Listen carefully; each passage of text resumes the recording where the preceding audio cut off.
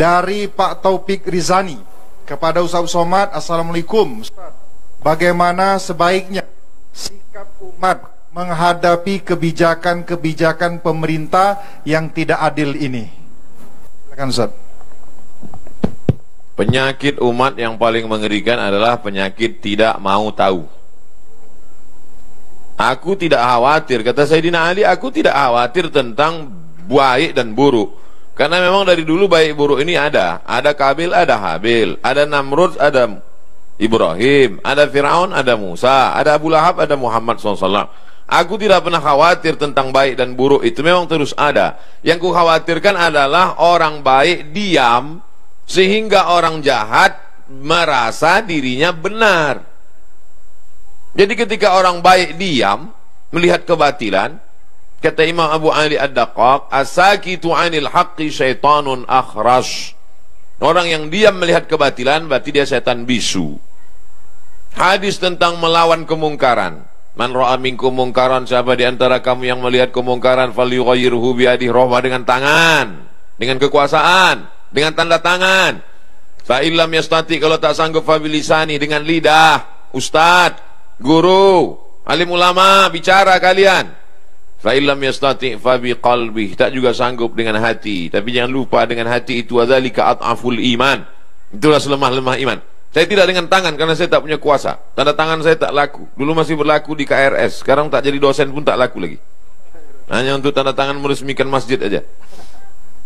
Tapi kalian yang punya tanda tangan, kalian akan dituntut di hadapan Allah Subhanahu wa taala. Ingat wahai pemimpin bangsa, jabatan kalian tak lama tapi hisapnya super lama. Jabatan kalian sekejap tapi hisapnya amat sangat lama di hadapan Allah. Yauma yaqumul hisab. Pada hari itu ditegakkannya hisab.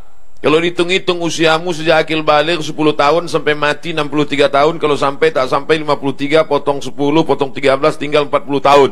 40 tahun itu berapa kali kau menandatangani? Surat izin membuka perusahaan asing dari mulai nikel, batu bara, tanah, penebangan hutan, penggarapan, Dituntut kau ke pengadilan kau menang juga karena duit kau banyak bisa kau sogok pengacara per detik bisa kau bayar.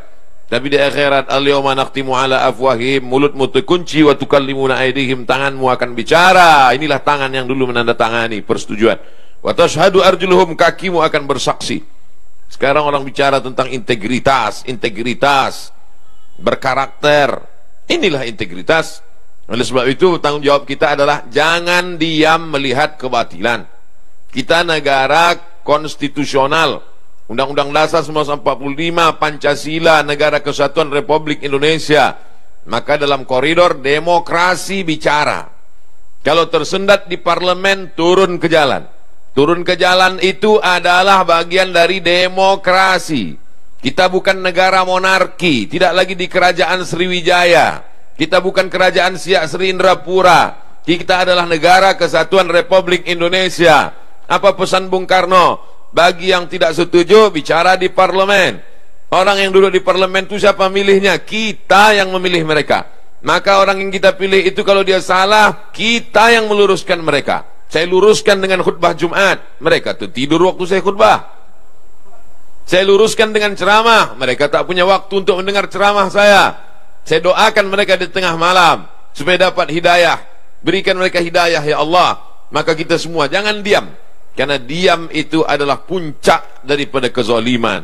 Fir'aun itu sebenarnya Fir'aun itu sebenarnya tidak berapa zalim. Tapi karena orang diam, dia menjadi jadi. Sembelih semua anak-anak mereka. Diam, kalau sembelih-sembelih lah. Itu menjadi jadi dia. Inna fir'auna wa hamana. Enam kali disebut nama Haman. Haman itu bukan orang bodoh. Haman itu kalau hidup sekarang Profesor Doktor Haman. Cerdas dia, tapi kecerdasannya dipakai untuk menjunjung kekuasaan yang zalim. Umat ini dipuji Allah karena amar ma'ruf nahi mungkar. Kuntum khaira ummah. Kalian umat yang terbaik. Syaratnya apa? Ta'muruna bil ma'ruf wa tanhauna 'anil munkar. Oleh sebab itu dalam bahasa Islam, agama Islamnya amar ma'ruf nahi mungkar. Dalam bahasa konstitusinya adalah kritik membangun, berdebat di parlemen, parlemen, parle itu bahasa Prancis artinya ngomong. parlemen, tempat ngomong. Kau didudukkan di situ untuk ngomong, bukan untuk tidur. Oleh sebab itu maka habis sudah saya sampaikan. Mudah-mudahan sampai ke telinga mereka. Mereka tonton.